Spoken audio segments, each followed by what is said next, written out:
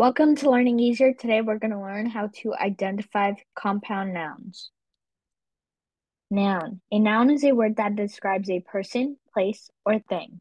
Example, lion, tiger, USA chair, and etc. A compound noun is a noun that describes people, places, or things made up of two or more words.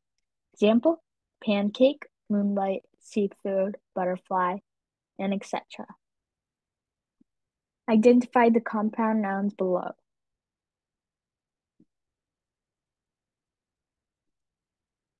Compound nouns are cupcakes, sunlight, car wash, grapefruit, airport, moonlight, and rainwater. Thank you for watching. Like and share this video with your friends and family. Write your comments in the comment box below. Subscribe and click the bell button. Follow Learning Easier Instagram.